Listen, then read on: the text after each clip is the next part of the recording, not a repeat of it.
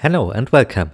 In this video I'm going to show you how to get the Empowered Renew rune for Priest in World of Warcraft Season of Discovery. To get the rune you have to kill either Grimtotem mobs and Thousand Needles, for example Grimtotem Reaver at this location, or Crushridge Augurs in Alterac Mountain at around this location, until they drop the Prophecy of the Quickened Path.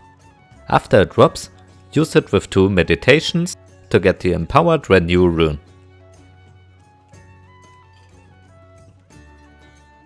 Congratulations!